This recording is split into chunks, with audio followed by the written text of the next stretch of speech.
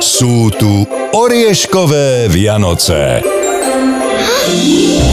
A štedrý večer bude plný kúzelných rozprávok bez reklamy.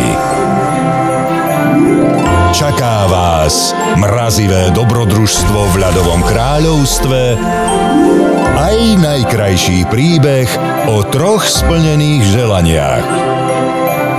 Ocitnete sa v kráľovstve, v ktorom varia bez soli? Aj na najzábavnejšom koncerte roka s Kandráčovcami. Orieškové Vianoce sú bez reklamy. Iba na Jojke. Nezabudli ste na niečo? Vianočné dobroty na váš stôl a ničím nerušené Vianoce bez reklamy vám opäť prinesie Kaufland.